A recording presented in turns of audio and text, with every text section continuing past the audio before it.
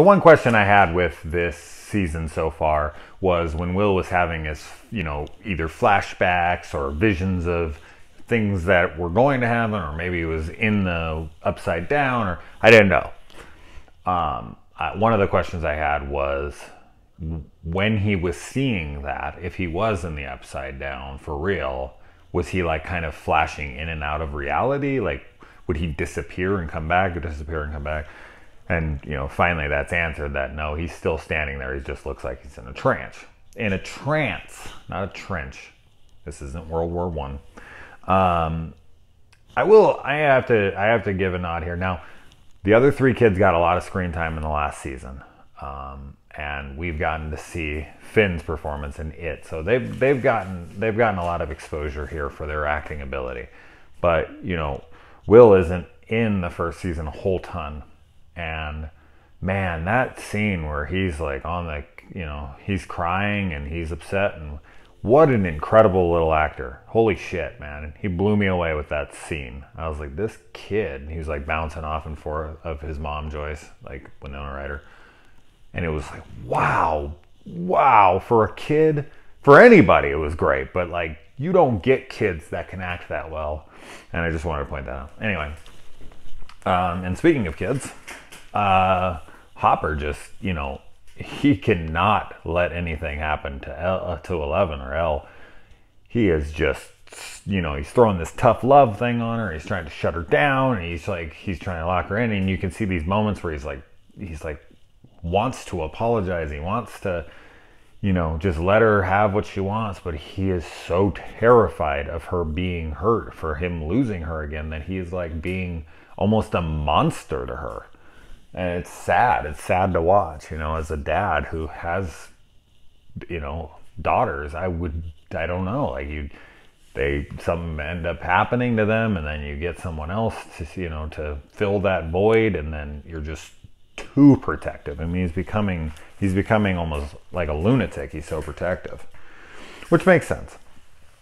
Um, and then we find out, I mean, a question we obviously had as soon as D'Artagnan or Dart was brought into this is like, is he going to be a good little whatever the hell he is, or is he going to be bad? And it looks like our answer, you know, that's been answered. He's he's going to be a little demon. Um, and damn, really had to kill the little cat.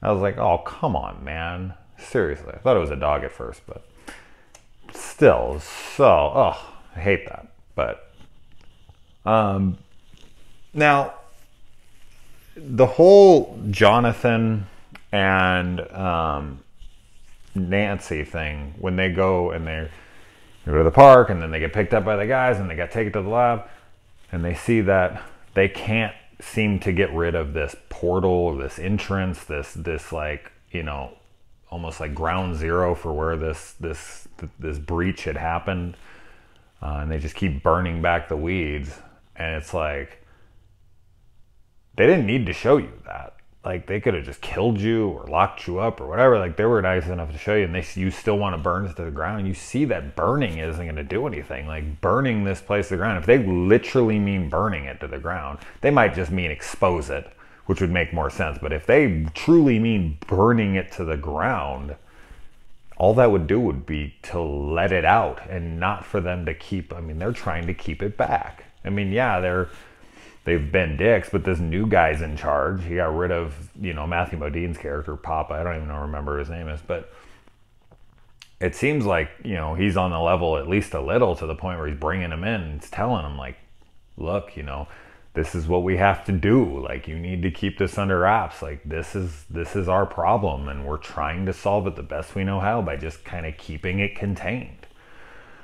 Which I'll talk about in a minute with the containment. Um, I have a question. On one of the things that I realized in this episode is like, you know, Max and her brother Billy are new to town, and I'm sitting there like, and he he's like, you know, she's not my sister. She's been, you know, we're family now.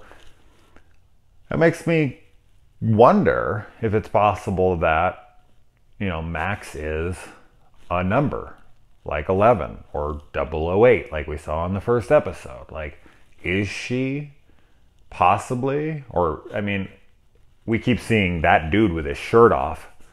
So I don't think he has any markings on his arms. I don't know if they marked all of them. I'm sure they did. But Max, we've only seen Max with her sweater on the entire time. So I have a feeling Max could possibly be one of the experimented on child children. We'll see.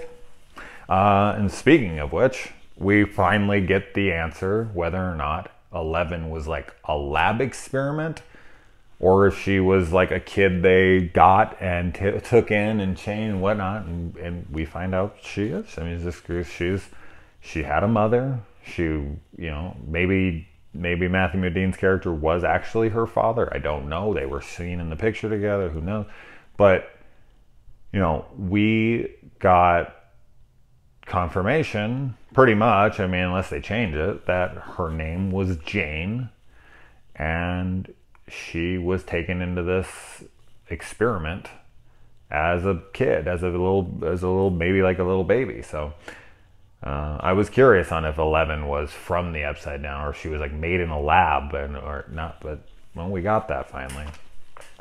Um, and as far as the like end of this episode, that also posed like an interesting thought um, and question. Well, Hopper digging that impossible size hole that he couldn't dig on his own for any reason. Trust me, I've dig, dug a lot of holes. It's not because I was killing people,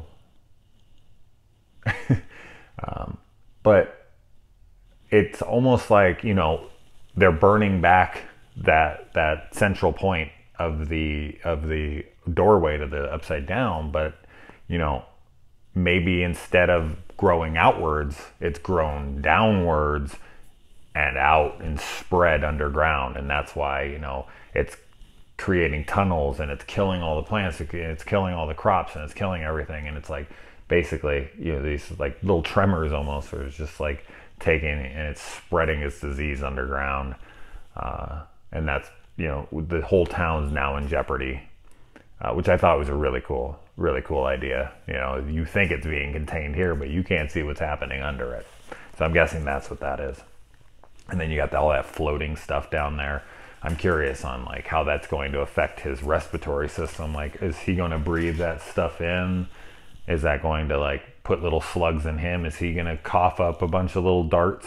Like, you know, is that how they spread? Is that how they're born? Is are they hosts? We shall see. All right, off to episode five.